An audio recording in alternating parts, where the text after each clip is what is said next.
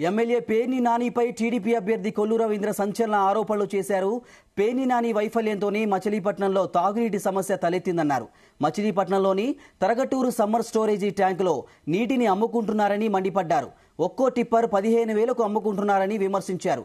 గతంలో టీడీపీ అధికారంలో ఉండగా తాగునీటి సమస్య లేకుండా చేశామన్నారు. స్పోర్ట్స్ డిపార్ట్మెంట్ నుంచి కూడా కాంప్లెక్స్ కట్టడం జరిగింది. ఇవాళ అక్కడ అన్ని అసంఘిక కార్యకలాపాలు జరుగుతున్నాయి. అక్కడ అంతా మందు రకరకాలైనటువంటి కార్యక్రమాలు జరుగుతున్నాయి. నేను ఆ రోజున కూడా చెప్పాను పేరు నాని గారు దాని మీద అడుగడుగున అడ్డం పడి ఐదు కోట్ల రూపాయలు శాంక్షన్ చేస్తే అది పక్కన ఇండోర్ స్టేడియంకి ఒక రెండు కోట్లు పెడితే అది జరగడం వల్ల స్విమ్మింగ్ పూల్ వాటర్ అయితే చాలా దారుణంగా ఉందని అక్కడ చెప్తా ఉన్నారు. అదే వాటర్ని రీసర్క్యులేట్ చేస్తా ఉన్నారు. వాటర్ మున్సిపాలిటీకి డబ్బులు కట్టిన కారణంగా పంపు కట్ చేస్తారు ఎందుకంటే సిగ్గు చెట్టు ఏముంటుందండి? ఈయన ఎమ్మెల్యే గారు చెప్తారు మంత్రి గారు మాజీ మంత్రిగా మరి ఇంకా వాళ్ళ కుమారుడు అయితే జగన్మోహన్ రెడ్డి గారు సాక్షాత్ దింపి దివి నుంచి కిందకి దింపినట్టుగా చెప్తాడు ఆయన. కనీసం ఆ స్విమ్మింగ్ పూల్కి వాటర్ ఇప్పించుకోలేనటువంటి చేతకాంతనం మీది. ఇవాడు ఇవన్నీ కూడా ఉన్నాయి. అలాగే బోర్డ్ ఆఫీస్ సెంటర్లో బ్యూటిఫికేషన్ చేయడం కోసం చెరువు ఉంది అక్కడ. శుభ్రంగా చుట్టూ వాకింగ్ ట్రాక్ వేసి మధ్యలో చక్కగా బ్యూటిఫికేషన్ చేద్దామని మేము ప్రపోజల్ తీసుకొస్తే వాళ్ళందరినీ రెచ్చగొట్టి అక్కడ రోడ్డు ఎక్కిచ్చారు.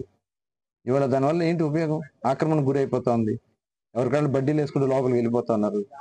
దానికి ఎదురు చెప్పే పరిస్థితి లేదు. అసలు బందరపట్నాన్ని ఒక మురుగు చేయాలన్నదే పెన్నాని గారి లక్ష్యం. ఇది చాలా దురదృష్టకరం.